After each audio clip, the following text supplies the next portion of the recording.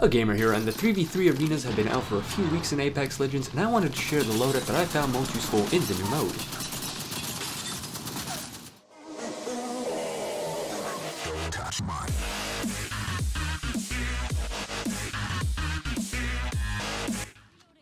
Generally, the two weapons you're going to want to have is the Spitfire and Mozambique. I'd recommend Rampart as she does have a faster reload and extra ammo in the Spitfire, but you can use whatever you prefer.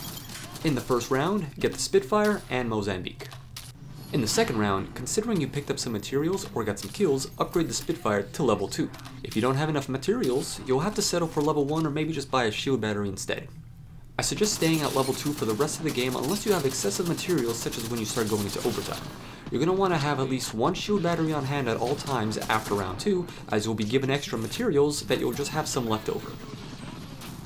If your match lasts to round 5 or longer and you start accumulating materials, start having this general loadout. A level 2 Spitfire, 2 batteries, and 1 medkit. With any leftover materials, you can buy extra abilities, upgrade your Mozambique, or just buy some grenades. Now why the Spitfire? It's a fast rate of fire LMG with the highest ammo count in a single magazine, great at medium and short range fights. Considering the arenas are all medium to short range within the second minute of the round, it is a must have and that is the general loadout. The rest is just going to be all strategy and just how you handle yourself in a fight.